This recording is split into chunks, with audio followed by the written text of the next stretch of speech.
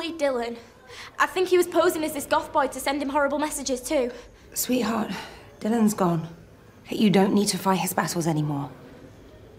I can't carry on like this. Dad, tell me what to do. I'm sorry, Nico, but I'm going to have to suspend you. One week, effective immediately. What about Kyle? Do I have to spell this out to you, Nico? This behavior has to end now because you're drawing too much attention to yourself. If Ben finds out what happened, neither of us will be able to protect you. A Fine, good for you. I'm not sure that's quite the lesson we're trying to impart here, Ben. After what those lads did.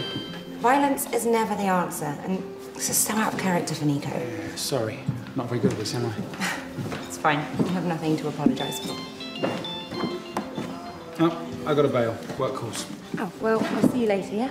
Great. Go easy on her, yeah? She's had a rough few weeks. Hmm.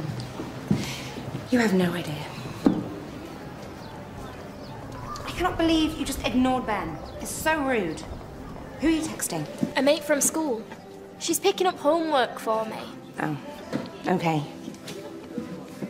My shift's about to start. Maybe I should call in sick. I don't need a babysitter. Nico, I am worried about you, all right? I don't think I should be leaving you on your own right now. Mum, I'll be right next door. Do you really want to give Mrs. Loveday an excuse to fire you? Fine. But if you need anything, you call me, okay? Actually, could I get a muffin? I'll skip breakfast. Then straight home.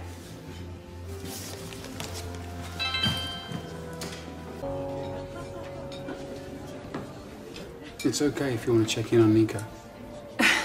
No, it's fine. She will call me if she needs me. I'm all yours.